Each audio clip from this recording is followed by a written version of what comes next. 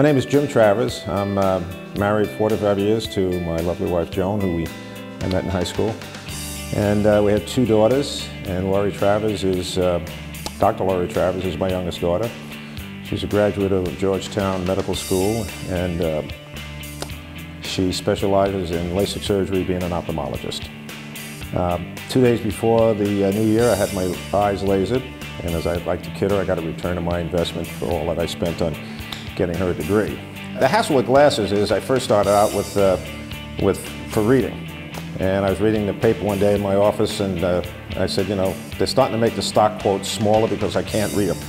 Another true story. And then I realized they weren't doing that, I needed glasses. And I got my first pair of expensive glasses and immediately left them on a plane the next week. And so there's a number of hassles with wearing glasses, and one of them is you lose them if you're not used to using glasses. Second thing is you always got to clean them. and the third thing is after a while they, they break. So other than that, they're terrific. And then my long-term vision started to fade, and now I either had the choice of those ugly things called bifocals, which I never ever do, or uh, two sets of glasses. And so I was having two sets of glasses. And um, if you think one set, one pair of glasses is a pain in the neck, try two. And uh, so I finally said to my daughter, I said, you know what, I'm tired of these glasses.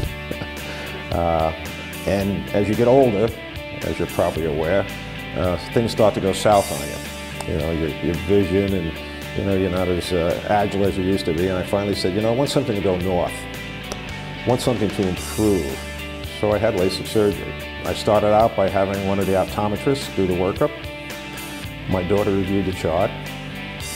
And then we set the surgery date, went in and had it done. And once I was uh, on the table, took no more than 15 minutes. And she talked me through every step. She told me I'd have some uh, uncomfortable feelings for about five hours, six hours.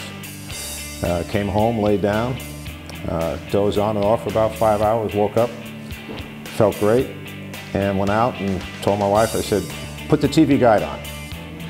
Sat on the couch, read it, it was clear as day.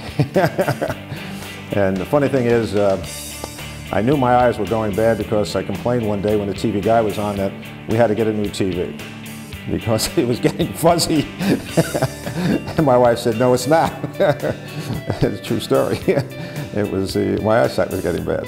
If you're thinking of LASIK surgery, go to the best, go to Dr. Lori Travers.